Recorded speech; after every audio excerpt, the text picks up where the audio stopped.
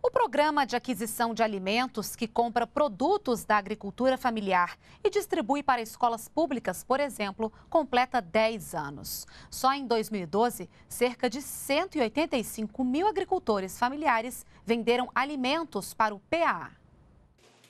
Em 10 anos, o PAA atendeu cerca de 20 mil entidades que prestam serviços sociais, como creches e centros de assistência social. Foram comprados 3 milhões e meio de toneladas de alimentos da agricultura familiar que atenderam mais de 3.900 municípios. Hoje, no programa Brasil em Pauta, o secretário nacional de Segurança Alimentar e Nutricional falou sobre os 10 anos do PAA e disse que a ideia é tornar o projeto cada vez mais transparente. Nós temos hoje diversas formas é, de operar o PA, o município, o estado, a Conab, diferentes modalidades, e nós estamos nesse momento numa dedicação muito grande para que todo o programa seja operado por meio de sistemas informatizados, com acompanhamento em tempo real, com a possibilidade de pagamento também em tempo real para os produtores, para as cooperativas, de forma que ele tenha mais agilidade desde a entrega do produto